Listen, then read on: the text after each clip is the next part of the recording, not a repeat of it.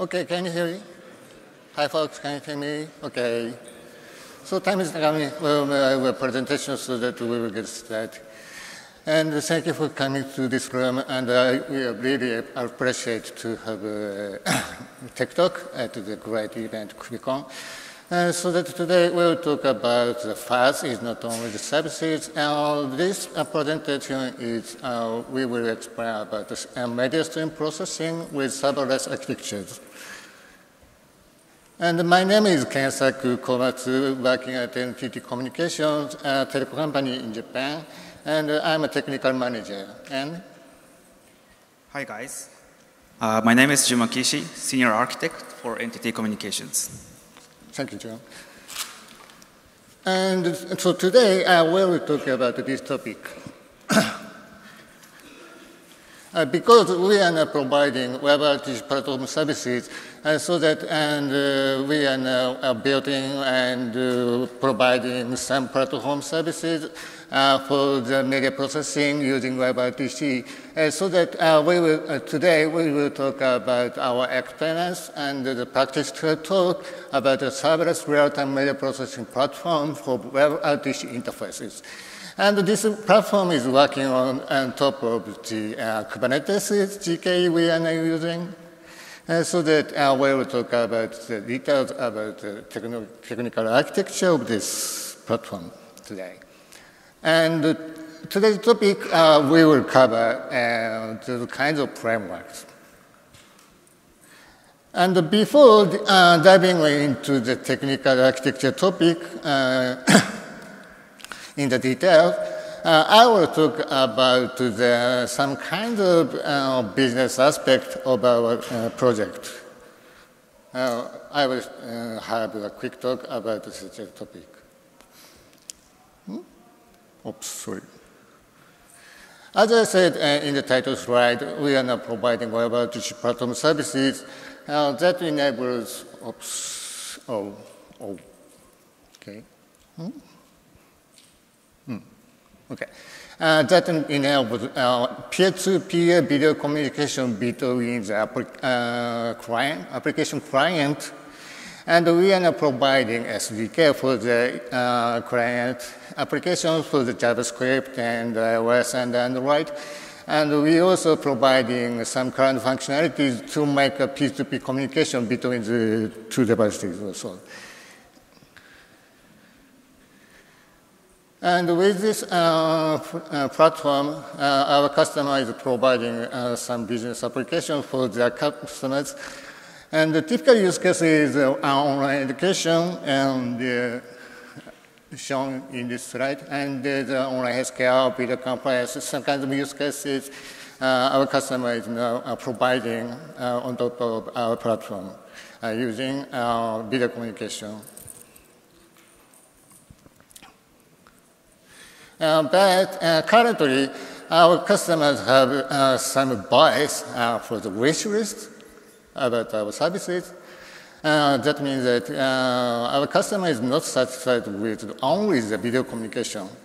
Uh, our customer is now having a wish uh, to make uh, some video or audio media processing processing on top of our platform uh, for example, a recording is a kind of cases, and voice recognition and object detection, live streaming, and so on.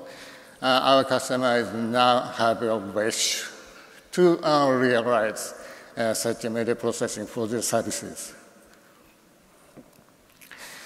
And to make it realize such features, uh, as I said, we are now really focused on the client side only, uh, but the using client's the computing power is not enough uh, to make it realize such features I explained before. And so that uh, we need to uh, make use of the cloud computing power uh, for the WebRTC. Uh, but current platform services does not provide such features uh, because, as you will you already know that current interfaces for the uh, really dedicated for such as RPC, uh, that means HTTP or REST. And uh, some, in some cases, uh, WebSocket is now provided, uh, but the WebRTC is known. Uh, so that, uh, and the second challenge is that uh, media stream processing requires a long-term session. And that means one minute, five, over five minutes, over 30 minutes or so. And it is quite different uh, from the current model because typical RPC requires up to 30 seconds or so. And so that uh, current uh, serverless architecture, uh, uh, some platform does not apply uh, to our demand. So that we decided to build our own platform services.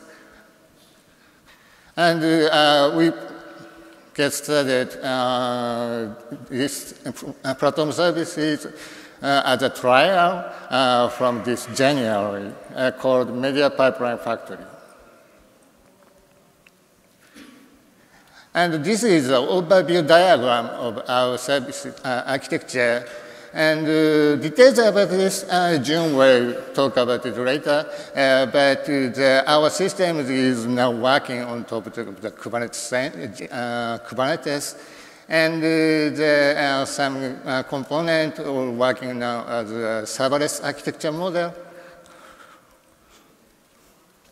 And the, we also mentioned that we uh, deploying uh, our WebRTC gateway as a container on top of Kubernetes so that uh, we are now providing such a uh, uh, serverless real-time media processing platform using our WebRTC gateway. あ、ダメだ。ちょっとでもお願いして。ちょっと調子悪いんで。And before diving into the technical architecture, press escape. うん、エスケープをして、で、ここが、yes. We will show you the demo about our services. Uh, this is the dashboard uh, of our services. And uh, with this dashboard, the developer can easily make their own pipeline scenario. And uh, as you may see that Uh, client application will send the WebRTC traffic, uh, that is media, or, uh, video, or audio stream, uh, into the, our WebRTC gateway uh, running on top of the Kubernetes. And uh, if a developer want to add some features, pipeline scenario on top of it, please click the. For example, if we, the developer adds the uh, decoding feature, uh, choose a file writer, icons, and then simply. Uh, I think name is not required. Yeah. Just click save. Yeah, that's okay. In this way, a recording scenario will be written. And in the same time, uh, people can, oh, what else? Maybe a session, hours. Sorry about that, the phrase, yeah, as the file writer, yeah. And in the same time, uh, by using the branch node, please uh, click the, yeah, plus button and add a new branch. Uh, we can add the, some voice recognition feature uh, that is using the uh, Google's uh, speech API. And uh, after that, uh, we can add some translation feature to add uh, such uh, functions. Uh, in this way, uh, developer can compose some scenario for the media processing. And we can show you the, some demonstration applications. React yes. And uh, yes, submit. And this web application is uh, for the uh, voice recognition and automatic translation scenarios. And uh, I think uh, you may uh, see that uh, some time delay is happened while this point to the started. And as I said, our platform is running on top of the, of the serverless architecture uh, so that if the sub, uh, application requires scenario, our platform uh, simply uh, spawns the uh, containers uh, as it needed. And so that this delay time means uh, spawning time of our platform. And please say konnichiwa or something.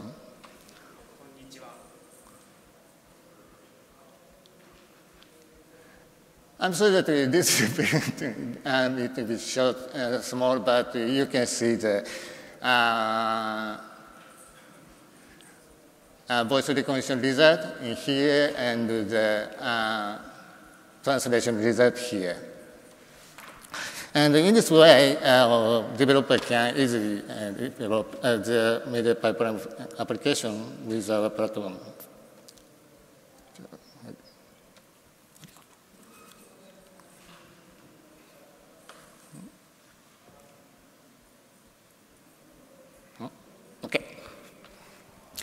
And in this demonstration, uh, we use uh, predefined content such as uh, file writer, uh, voice recognition component functions, uh, uh, translation function. but not only such as predefined functions, developer can deploy the custom functions with our SDK. And with our SDK, such as input stream and output stream, uh, functionality is provided uh, so that with SDK, uh, developer can easily de develop their own custom functions and easily deploy on top of our platform. And from, uh, from this uh, slide, uh, Jun will talk about the details about the technical architecture. Okay, thank you for the wonderful demo, Ken. Uh, so again, my name is Jun Makishi, an architect of, of, this new serverless platform. And as Ken showed, uh, this platform is to help users focus on their media processing logic just by simply composing their pipeline, like the, he showed in the UI.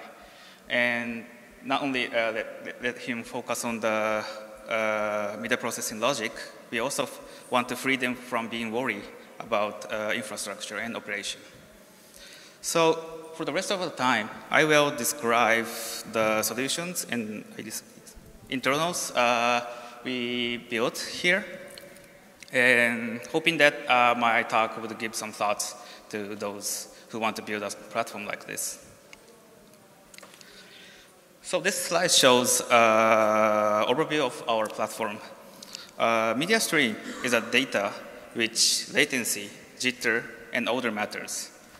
And in big data technology context, there is some good solution to take care of unbounded data in real time. But we couldn't find a good off-the-shelf solution to take care of media streaming like this. And particularly none for WebRTC. So we decided to build a new platform on top of Kubernetes and creating a media processing pipeline with containers. Uh, in this morning, in the keynote, Brian said that uh, Kubernetes is a platform to create a platform. And we did exactly the same thing. So, serverless. Uh, I must first talk about why we defined our platform as serverless. Uh, when we talk about serverless, typically we're talking about function as a service. With function, function as a service, user only needs to care about function, which is a business logic, and an event, when to fire the function. And most important, user only needs to pay for the time the function consumes the CPU resource. We want to provide the exactly same developer experience with our platform. Uh, event is typically short-lived. For example, in AWS, uh, it could be HTTP request, S3 upload, SNS topic notification to invoke a Lambda. But in contrast, in our case, we define media streaming as an event and real-time media processing as a function. So every single media streaming is a single event for our platform. And this brought some challenges. So first, I will look into the functions. Uh, in Ken's demo, uh, he showed two functions, uh, speech-to-text transcript and translation function, and we cascaded. Like that, we believe that a media processing pipeline could consist of multiple functions, and we want to give a good programmability here. So we decided to create container per function, which is exactly a microservice architecture. And we cascade gateway to those function containers. Uh, we take care of those container management. So this abstraction gives a flexibility to user that user can bring their function and just swap the function container to enable it. Also, uh, we don't share containers across multiple streaming sessions, which means uh, if we have a failure on the one session, it wouldn't affect the other sessions. Also, uh, state wouldn't be accumulated beyond a session. And this brought a big stability to the platform. And one more thing uh, about the scale, uh, because we can just scale, I mean, we can just scale this platform by simply creating the containers. So it's horizontally scalable. And next one is event. Um, our event is media stream, which when e where event starts when media stream, stream data flows in, and event ends when the media streaming stops, which means event is long-lived in our case and so do the functions. So we need to take care of this lifetime of long-lived function. We created uh, uh, our own controller to spawn containers when we receive a new session request. And we terminate the containers when we detect a session close event. To keep it simple, we interact only the Kubernetes API to take care the lifecycle, just spawning the containers and terminating the containers. With this lifecycle management, uh, users' application workflow could be described like this. I used a serverless working group specification to describe this example of audio recording case, which is another scenario from uh, Ken showed. It is pretty simple that on receiving session open event, function will do their initialization. And on receiving a streaming data, they will start processing their logic. In this case, uh, one function would do the audio decoding, and another function would save the stream to an MP3 file. And on receiving session closed event, we simply interrupt the long-running function and terminate the containers. We have a contract for contain, uh, functions that we always send SIGTERM signal to functions on receiving a close event so that function can gracefully finish their processing logic. With this approach, uh, any other scenario could result in this kind of diagram. And this simplicity brought, uh, help us build a reliable system. To mention about uh, CNCF serverless working group specification, I couldn't find a way to define, describe the relationship between functions. And also I couldn't find a way to define the event to trigger an interruption to the existing function. Maybe this is a new challenge here, but I'm not familiar with the working group, so I would appreciate if you can correct me if I'm missing something. And by the way, I'd love to input this use case to the working group if it's interesting to them. Last topic for the serverless is Knative. Um, some may thought that uh, why not Knative? Well, simply it was not there when we started the project. But as far as I know, Knative now supports gRPC stream. So maybe it's time to look into this. But I still see some challenges here. We could create a custom event using Knative eventing to take care of the WebRTC session events. And we could use Knative servings to scale functions. But I couldn't find the exact way to wire a function to another function while they are keep running. So maybe this is a challenge that uh, uh, we should need to solve. If any of you are familiar with Knative, I'd love to discuss about it because I think Knative is promising and worth merging. Also, I'm happy to contribute to the community with our findings. So uh, let me change the gear to talk more about Kubernetes. Uh, let me ask a question. How many people in this room run Kubernetes in production? Okay, pretty much. Then how many of you uh, create more than 100 pods a day? Oh, nice. I would like to discuss about, about your challenges. So we create more than that. Uh, we directly call pod API to create uh, containers. We don't use replication controller because it's not that much. It doesn't last that much. I mean, one session, for example, for the video conference could last 30 minutes or so. So but, uh, it doesn't uh, make sense to, to, use a replication controller for our case. And we create containers per session, which means if we have a many session request, we need to create many conta containers, pods, and which brought a new challenge on the performance. I forgot to put Y scale to this graph, but our platform is still in trial phase and with a limited user, but even with that, we had experience to create more than 100 pods in a few minutes. So it was a, a, a, pretty big challenge, and we need to deal with the spike. And also, uh, we need to spawn pod and serve it uh, in the FIFO manner, first in, first serve manner. Another challenge here is to sync multiple containers for a, same session if multiple containers get ready state at, at, a very different timing, if there's a big gap, then we could lose the, the streaming data. Unless we don't buffer, of course. Uh, another challenge which comes from uh, creating many pods is observability. observability. Now, this is a mouthful. Um, distributed tracing.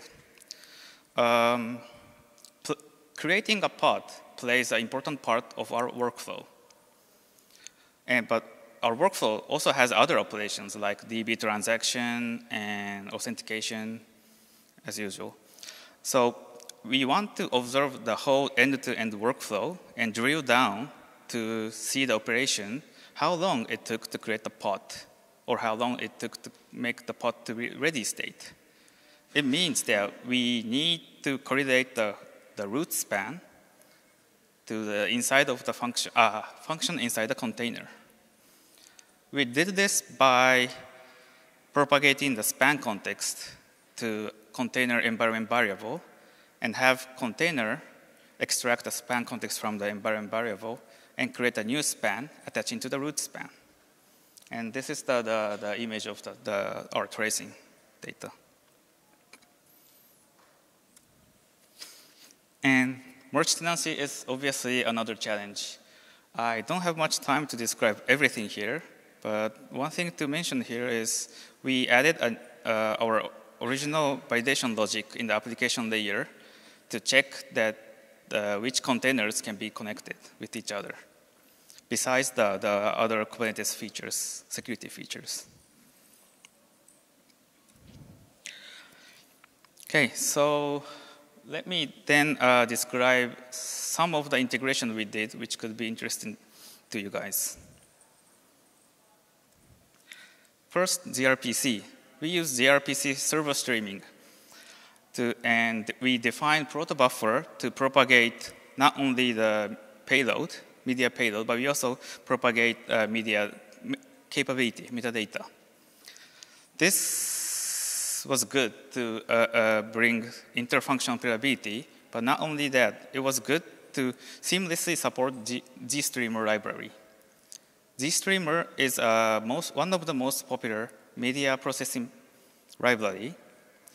And it requires the caps in the buffer, I mean the, the payload. With this schema, we can just simply input the data to the GStream library. And user can do the, the, some media manipulation or any other stuffs using that library.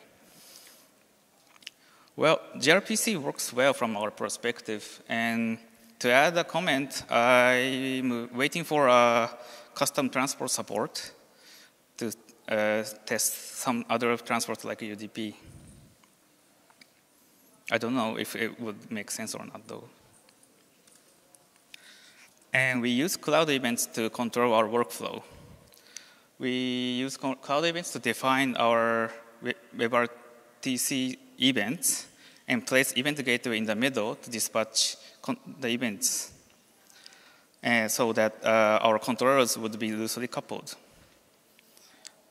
To be honest, I don't see much benefit on using cloud events so far because there's not less tools in the market now. Uh, but yeah, I strongly expect to have some observability support in the cloud events, like event tracing not only the specification, but the implementations in the tools. And lastly, uh, telemetry. It's not fancy stuff, but it's one of the most important integration, as always. We have a service ID, session ID, and we want to group all of the logs, metrics, tracing with this ID. We did this by uh, assigning the ID to Kubernetes metadata and use metadata agent to bind the ID on when sending the data to the backend. Also, one more critical thing is to create a dashboard to make all of the telemetry immediately actionable. Well, I can spend more, 30 minutes more about this pain point in the solution, but I know I'm running out my time, so I will save this to the next chance. If you guys are interested in, uh, please reach out to me, and I'd love to discuss about this. Okay, recap. Uh, we built, uh, we wanted to build a server-side, cloud-based, real-time media processing for WebRTC. And we built a serverless real-time media processing platform using Kubernetes. In other words, we completely sit on Kubernetes shoulders. This platform is all for developer, user development experience. We want users to focus on their media processing logic, and we want to help turn, turning their application to a real-time communication application easily. Lastly, uh, you can find the code used for the demo in the GitHub links here. And you can use those code and also the tricks I showed to create a platform like this. Or you can even sign up to our trial service to try out the new user experience on media processing. All of the code in the GitHub is already pre-installed to the platform, so you can immediately try it out before building your own.